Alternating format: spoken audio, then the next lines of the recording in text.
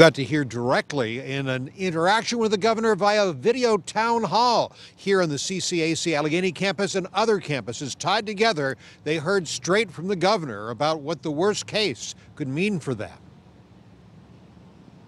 Governor Wolf says the state's massive deficit is a crisis that threatens Pennsylvania's future. It's a time bomb, and it's ticking away right now, even as I speak and Governor Wolf's message to CCAC students, faculty, and staff in his live video link drives home what that warning could mean for them.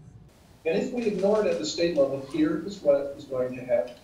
There will be no money, no money, not just a little, there will be no money for the Community College of Allegheny County.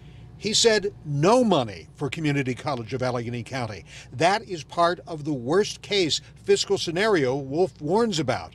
And some CCAC students and employees are troubled. What would happen when we got to that point and we weren't getting any funding? Like, how would we pay salaries? How would we pay our faculty? How would we keep business going? If they raise the tuition, then then yeah, it would put me in a spot. It actually means that it might be cut in job opportunities for me in the future. During this video link across Community College of Allegheny County campuses, Wolf drove home the same message he gave state lawmakers about that so-called ticking time bomb.